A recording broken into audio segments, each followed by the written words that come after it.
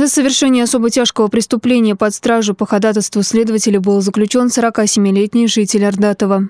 3 октября в дежурную часть межмуниципального отдела МВД России «Ордатовский» поступило сообщение о доставлении в медицинское учреждение с ножевым ранением грудной клетки 34-летнего местного жителя, который от полученных телесных повреждений спустя непродолжительное время скончался. Погибший был в компании двух приятелей. Мужчины что-то отмечали вечером 2 октября в комнате общежития одного из участников застолья. Во время распития спиртного между 34-летним и 47-летним знакомыми разгорелся конфликт. Сначала они разговаривали на повышенных тонах, а потом старший из мужчин взял со стола нож и ударил в грудь оппоненту. Скорую помощь вызвали сразу. Врачи оказали медпомощь, но утром следующего дня раненый гость скончался. Следователи Следственного комитета предъявили обвинение фигуранту. Свою причастность он не отрицает. Судом по ходатайству следственных органов в отношении него избраны меры пресечения в виде заключения под стражу.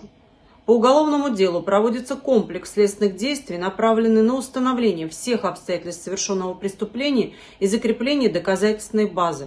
Назначены необходимые судебные экспертизы, в том числе по изъятому в ходе осмотра места происшествия предполагаемому орудию преступления. Анастасия Семушева, программа «Происшествия».